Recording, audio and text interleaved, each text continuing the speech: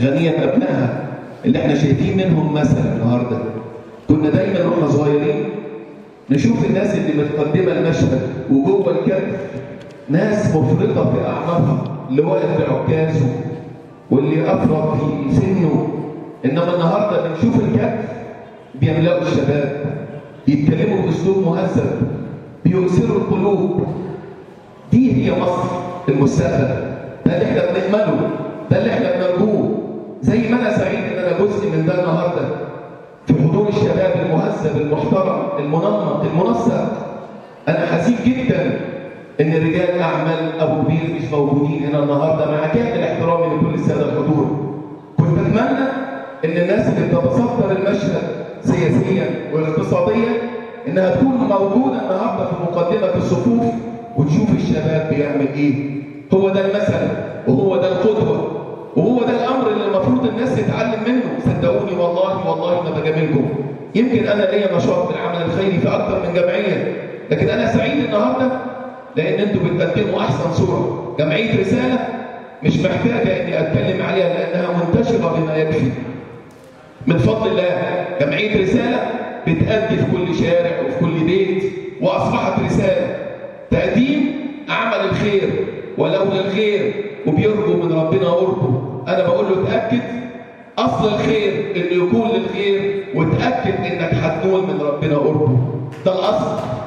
ده الأصل يا اخوانا اسمحوا لي باسمكم وباسم أبناء أبو كبير المخلصين. إن إحنا ندعو رجال أعمال أبو كبير لتقنين العمل التطوعي. ما ينفعش يكون مشاعر. لازم نحدد الجمعية اللي ليها نشاط ملموس.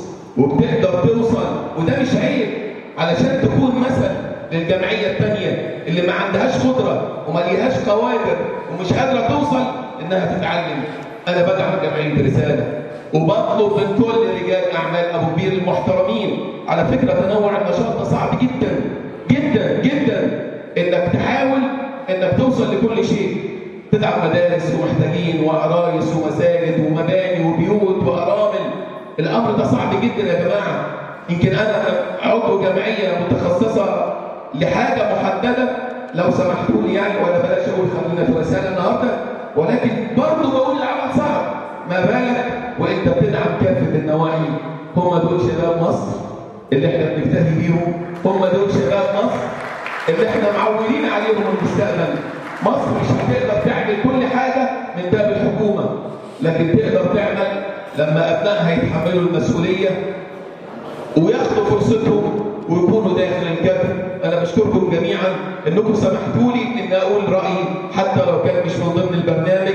أحب الناس إلى الله أنفعهم للناس وأحب الأعمال إلى الله. عملا تدخل به سرورا على قلب مسلم والعمل الخيري ما بيقتصرش على المسلم وبس.